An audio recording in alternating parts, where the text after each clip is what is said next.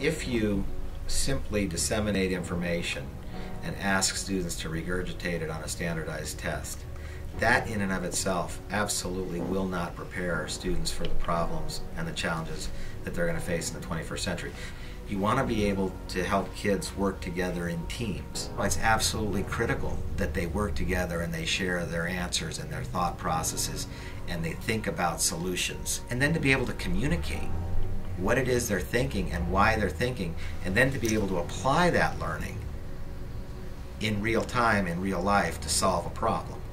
And those are simply things that you can't do unless you develop a system that promotes engagement and that uses technology in ways that kids can explore and grow and learn. We were very in tune with creating real application of real work, real attributes that would provide students with opportunities that they may uh, otherwise not have.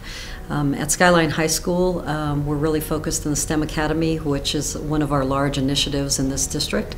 And we're really getting students, especially um, females and minority students, ready for their futures.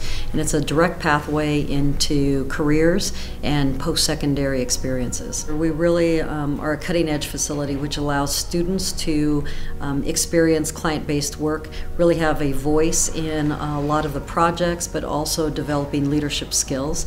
Um, they are out speaking with CEOs, they're prototyping, they're developing and creating solutions to real world problems.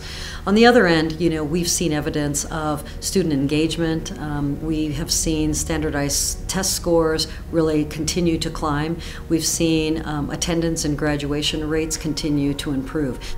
For our teachers, it's a very exciting time where we're actually um, infusing the creativity back into their teaching. We've used the design thinking process out of the Stanford D School to really be our core. And with that, um, teachers have made a, a large paradigm shift into becoming facilitators of student learning. Now, we have a whole host of opportunities that are available for kids where they can take a look at what they think about what they like, where their passion lies, where, where their aptitude is, and they can pursue that. We open choice up, we open the boundaries up, and we let kids pursue these areas that they're interested in. And we expect them to own it and to take the responsibility for their learning.